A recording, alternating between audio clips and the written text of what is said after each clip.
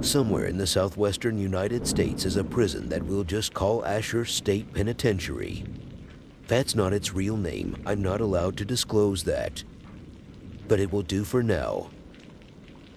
If you've been following me up to this point, you'll know that Ashurst is a little more than just your regular prison. Sure, up on the surface you'll find the sorts of folks who belong in a maximum security prison. Serial killers, drug lords, and whatnot. But down in the basement, where I work, that's where you'll find a whole new breed of fucked up. Monsters, demons, fae, sirens. They're all real and the worst of the worst are kept beneath Ashurst. My job is to interview some of the more talkative ones. You'd think it would be easy, but trust me, I don't think there's a more dangerous job out there. After my late night run-in with our former inmate, Malaki the Vampire, I got a week off to relax after the whole ordeal. I just wish I could say I was actually able to relax.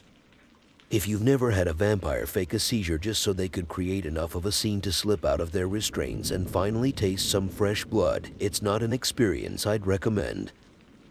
Malaki's little stunt had left three of our staff dead, one staring down a new life as a vampire and me with some brand new nightmares. Considering how close Malaki had gotten to tearing out my throat, I consider myself lucky that the warden stepped in and killed him when she did. If she'd been just a few seconds later, I might not be typing this right now. I think it goes without saying that I'd been thinking about Malaki a lot during my time off. Not just because he'd come very close to killing me, but I couldn't help but notice that there were a few things weird about how everything had gone down. I'd only been dealing with him that night because the warden had found evidence to suggest he'd been making friends with another inmate. Considering that for the safety of the staff, we don't let certain prisoners out of their cells, that was a little concerning. Malaki was the sort of high-risk monster who was supposed to stay locked up at all times, he wasn't something that could be rehabilitated. The only reason he'd been kept alive was for research purposes. So he really shouldn't have been socializing with any other prisoners. And yet, someone had sent him some pretty detailed instructions on how to slip out of cuffs. In a pretty obscure dead language, no less.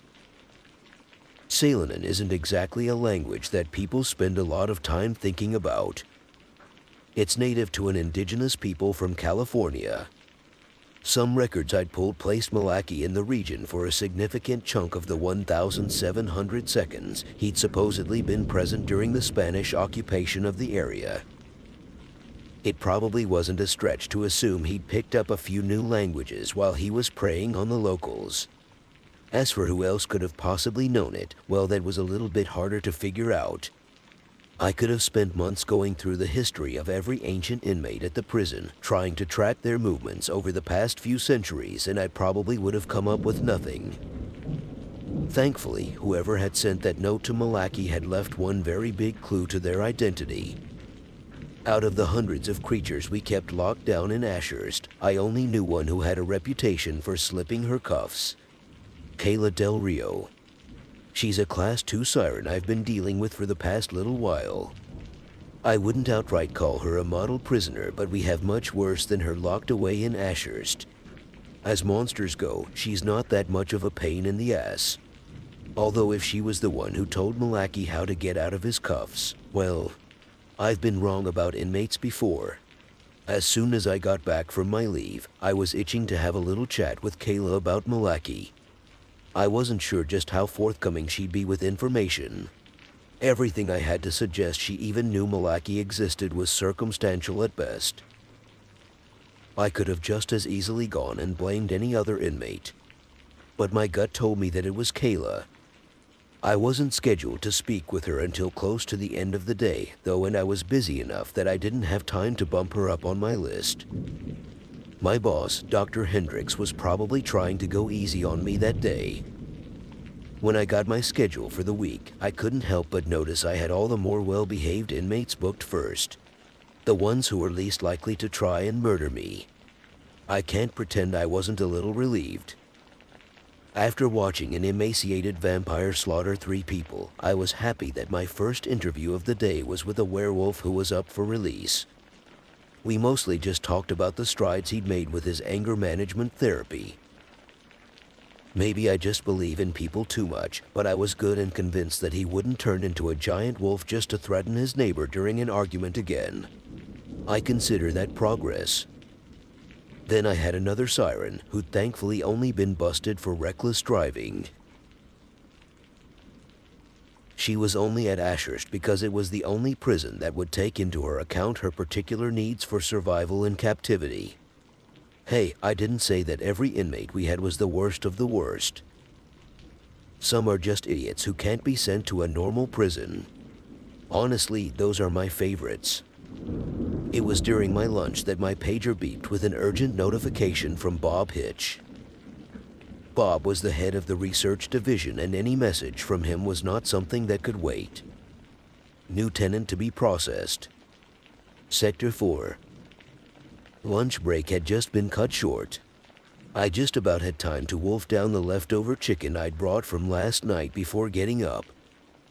Maybe it was sloppy, but I didn't really have time to clean up.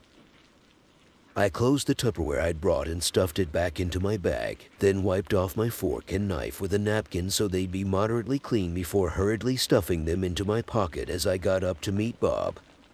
Like I said, any message from him was something that couldn't wait. A new tenant meant that something new had just been brought in.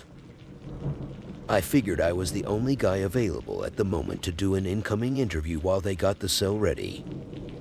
Bob was waiting for me outside the interview room when I got there. He had a bit of a sheepish smile on his face, and that alone told me that whatever was waiting for me in that room was going to be something bad.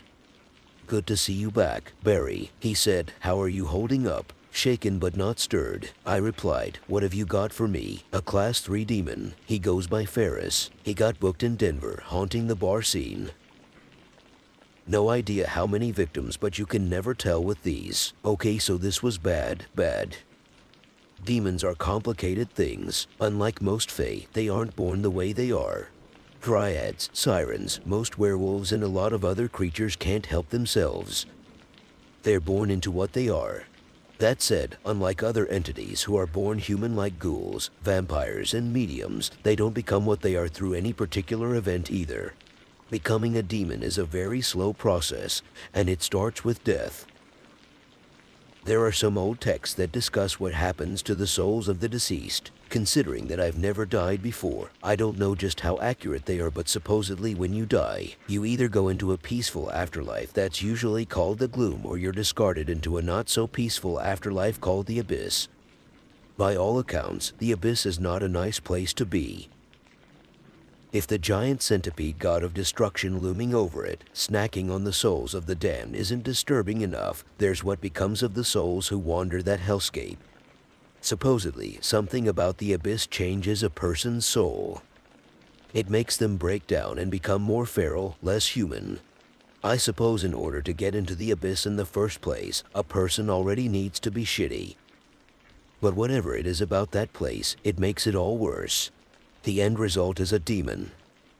A hungry, cruel husk of what used to be a person who was already bad enough to end up in hell, and if one of them finds a way to slip out of the abyss, well, that can be a real problem. The weaker demons aren't that much different than a ghoul or some other shambling monster, dangerous and terrifying to look at, sure, but nothing to write home about. It's the more powerful demons that you need to watch out for. The ones who know how to look human, they're the ones who move about in plain sight, looking for fresh meat to devour. Then when they zero in on their target, they pull them into a darkness that conceals them from everyone who could be watching, and they feed. They can do it on a busy street and nobody would notice. They wouldn't hear the screams or the crunch of bone. They wouldn't know anything was awry until after the demon had long since slipped away, not even leaving a body behind to mourn. Of all the horrible things that exist in this world, I don't think any of them scare me more than demons. So what are you hoping to get out of him? I asked Bob. I know the trepidation in my voice was clear and I could see a flash of sympathy in his eyes. The names of victims would be nice, but I'm not going to hold out any hope. He said, get a feel for him, I guess. Keep him talking. Maybe he'll slip up and give us something. He didn't sound confident, but who was I to argue? I caught myself taking a deep breath to steel myself for what was going to be waiting for me on the other side of the door. I knew it was probably going to look and sound human. It wouldn't drop its facade for me just because it got caught. It was probably going to try and convince me to let it out or something. I dealt with these things before. I knew how it went. It never got any easier, though. You good? Bob asked. Yeah, I'm good. Let's go have a chat with him. Bob nodded before scanning his keycard at the door and opening it for me. Together we stepped into the observation room. A two-way mirror looked out on an empty interview room lit by pale fluorescent lights. On one side of it was a bulletproof glass cell that took up the space where a chair for the entity I was interviewing would be. There was space on either side for an armed guard to be stationed. The setup was routine, save for one little detail. There was nobody in the cell and no guards at their stations. I felt my heart skip a beat as I drew closer to the two-way mirror, looking out at the interview room with wide eyes.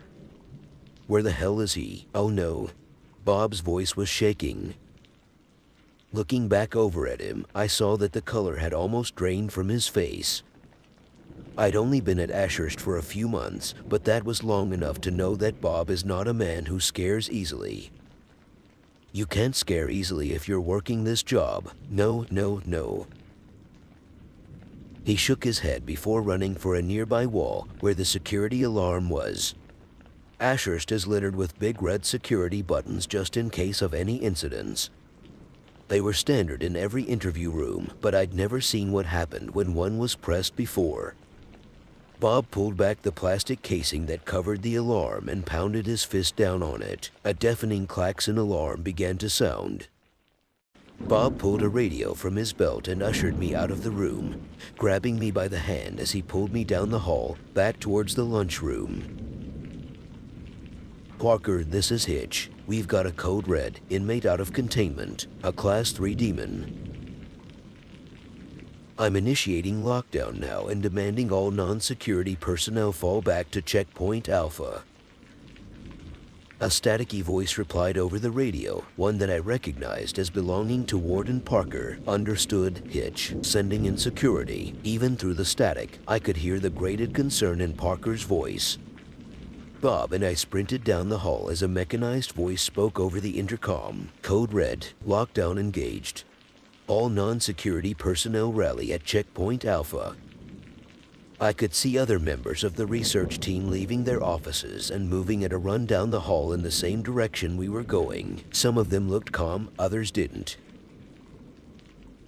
I suppose it was easy to tell who'd seen this before and who hadn't. Code red, lockdown engaged. All non-security personnel rally at Checkpoint Alpha. I'd been briefed on the security protocols in the event of a code red. Every member of the staff had. We needed to know them inside and out. In the event of an inmate getting out of containment, all non-security personnel were to regroup in a designated safe room. It was the only room in the Ashurst complex that could hold everyone inside. Security would split into several teams, one would accompany the staff, the rest would sweep the prison. I knew that power to the elevator had been shut down, and the elevator shaft itself had been sealed the moment that Bob had hit the security alarm. We'd all be stuck down there until security dealt with the threat. As we moved down the hall, I could have sworn I saw one woman moving against the crowd. Some idiot who thought something they'd forgotten was more important than their safety. I paused for a moment to yell out to them, come on. We've got a security breach.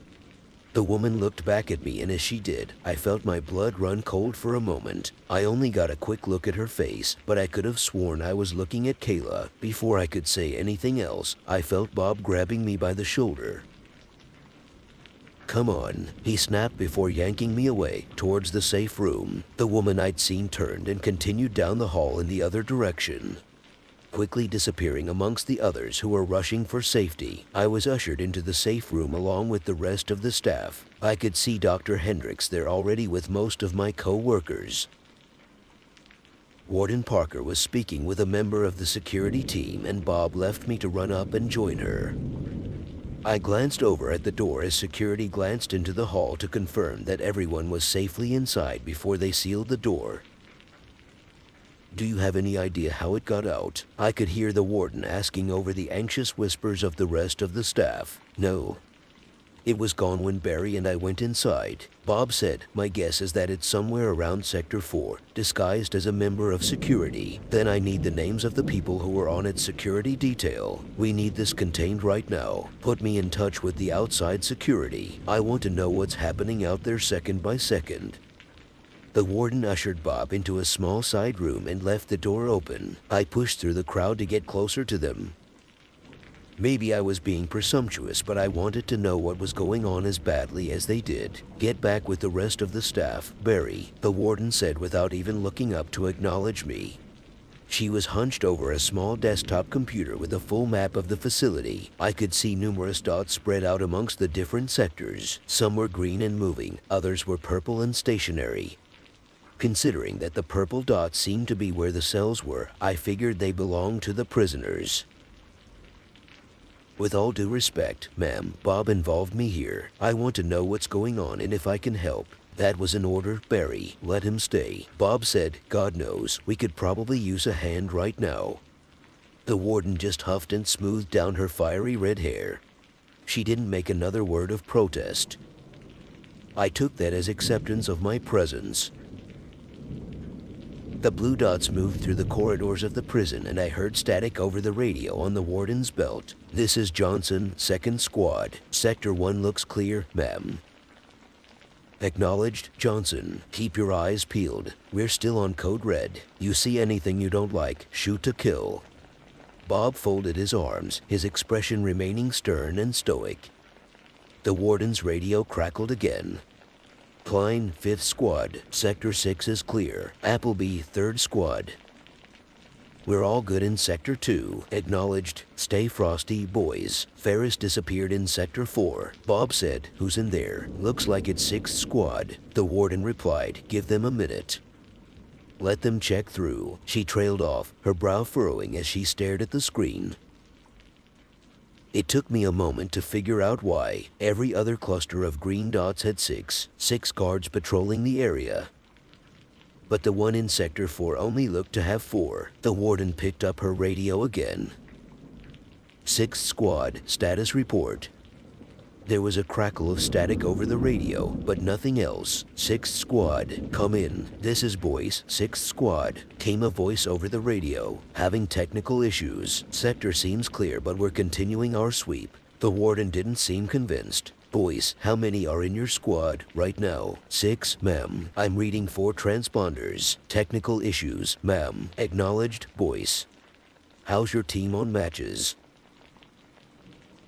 We use lighters, ma'am, and those are better until they go wrong. I saw a bit of relief pass over the warden's face. She sank down a little bit, then shook her head. I understood the passphrase she was using. It was something else that every member of the staff needed to learn, passphrases to prevent anything from assuming the shape of and passing itself off as a staff member. It wasn't something any inmate, especially a brand new one, would know. They're fine, she said. We'll keep a close eye on them. Our demon friend probably got spooked by the lockdown and tried to hide. So do we just wait them out? I asked. We've got the supplies down here to last us six months if needed and if necessary. We have an evac plan. We'll be fine, Bob assured me. Just get comfortable, Barry. We're going to be here for a while. He patted me on the shoulder and I nodded before heading back to rejoin the rest of the staff. I could feel a sinking feeling in my stomach as I left the warden and Bob to their work. But that was more about the concept of potentially being stuck down there for a while, as opposed to anything else. Maybe it was childish, but the idea of just waiting out this bug hunt seemed more exhausting than anything else. I spotted Dr. Hendricks and one of our co-workers, Christina sitting on a bed and talking quietly amongst each other, and I briefly considered joining them before deciding against it. Some other members of the staff had gotten into the food supply already and were passing out dried banana chips and bottled water. I figured that eating something couldn't possibly make me feel any worse, so I queued up in line to get some for myself. Most of the rest of the staff had splintered off into their own little groups and talked quietly amongst each other. A member of security was in a storeroom just beneath us, checking the inventory for bedrolls and water. In the distance, I could hear the faint klaxon alarm outside in the hallway, and the reality of the situation that we were in hit me hard. I'd never actually thought I'd see the day I'd end up in this situation. Sure, I'd been briefed on the possibility of it back when I'd started. Bob had shown me the procedures to follow and everything. But he'd also told me that he'd only needed to activate Code Red and move everyone into the safe room once before, during a drill. Maybe it was a little arrogant of me to think that nothing would ever happen, and it was juvenile to be upset now that it was happening and I was facing the possibility of being stuck in a cell of my own for the foreseeable future, but I digress. Regardless of how the situation made me feel, this was the reality I currently had to face. Once I got my banana chips and water, I looked over towards Dr. Hendricks. Christina was gone. I didn't see her anywhere nearby, but I didn't dwell too much on it either. I moved to sit down beside Hendricks, sighing and rubbing my temples as I did. What a fucking day, huh? I asked. He laughed humorlessly. You're telling me, he replied, any word on when they're gonna find this thing? Nope, it's probably still in Sector 4, but who knows? Maybe it hauled ass straight for the elevator and is already topside. That's what I'd do, Hendricks said. I offered him a banana chip. He hesitated for a moment before taking one. Any idea what got out? A demon, a new inmate. I said I was going with Bob to process it when we found the cell empty. My guess is it figured out how to dupe the guards, ate them, and then disguised itself as one. It'll make it a hell of a lot harder to find if that's the case, that's for sure. Even harder if it's smart enough to hide. Hendricks nodded thoughtfully before staring out at the rest of the staff. Where would it hide anyways? How many cameras are in here? It'd be hard to find a place that isn't on camera. I said, maybe the bathrooms. That's about it.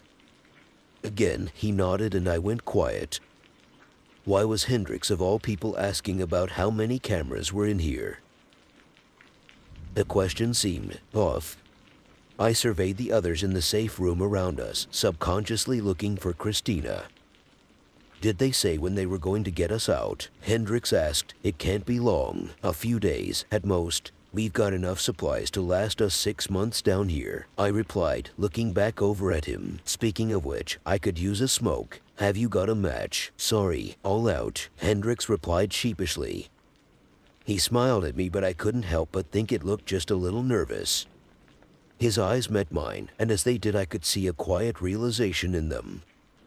With just one look, we both understood everything we needed to understand about each other. He knew that I wasn't really asking for a light. I knew that he wasn't really Dr. Jason Hendricks. Suddenly, the space around me seemed so much darker. I looked around again, the staff around us was still moving, but they seemed dimmer. Almost far away, so far they wouldn't see what would happen to me. Hendricks' face began to change. His features seemed to fade away into something darker and less detailed. A blank, black slate that looked charred and infected.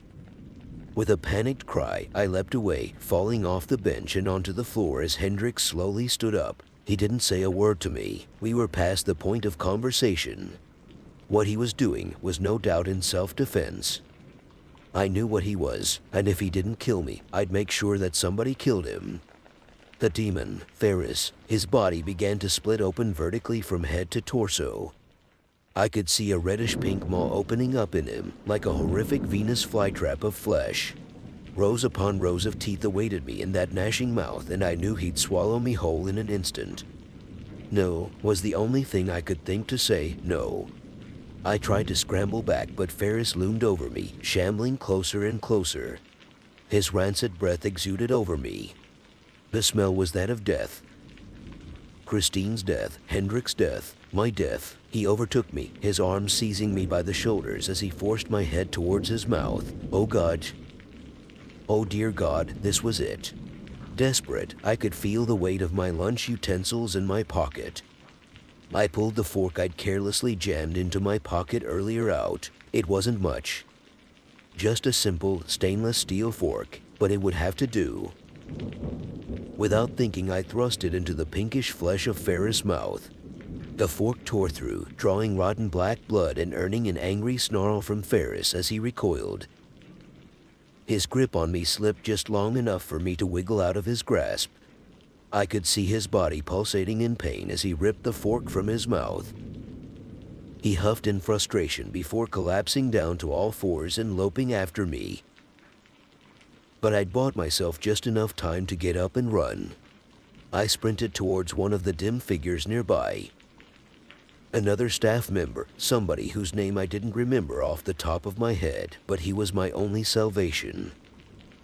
I slammed into him, tackling him to the ground and praying it would be enough to break whatever illusion Ferris cast to keep the others from seeing me as he fed. As I hit him, the world suddenly seemed less dim.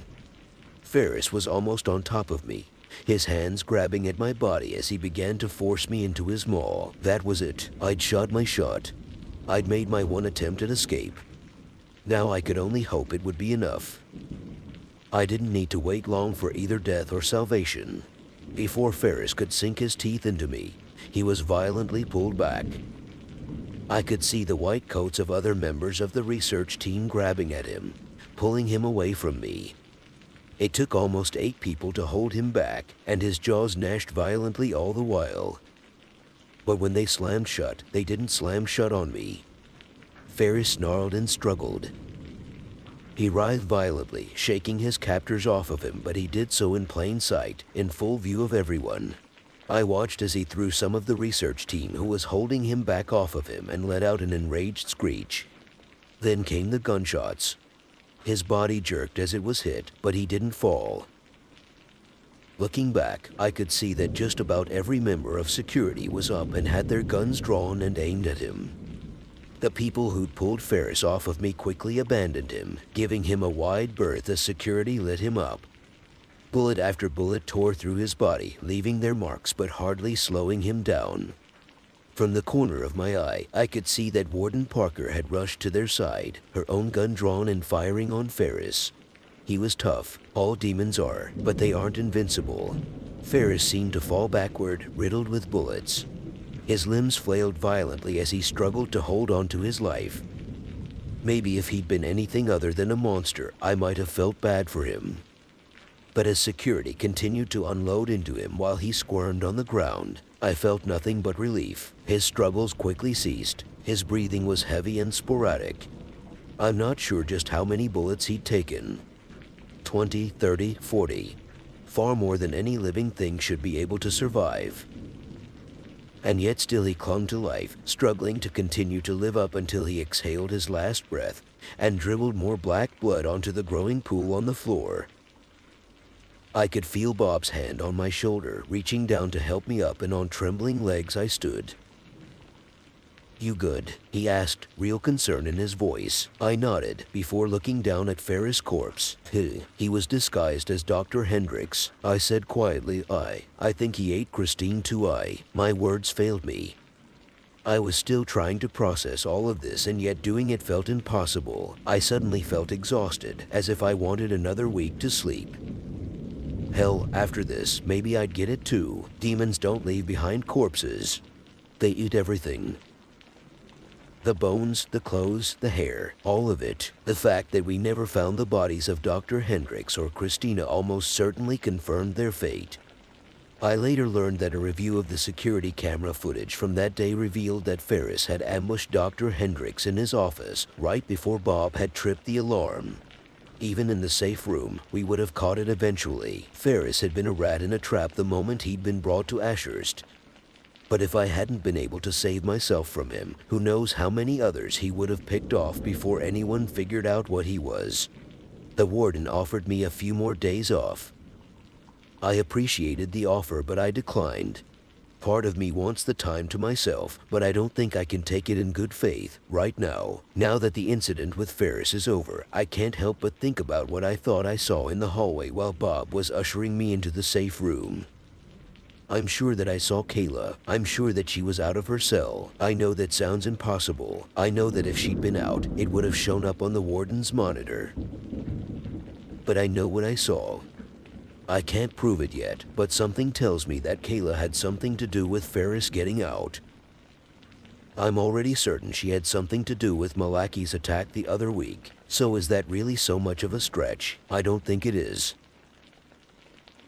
Thanks for tuning into our scary story today. Don't forget to leave a like and subscribe to our channel for more spooky tales like this one. Until next time, stay safe and keep your lights on at night.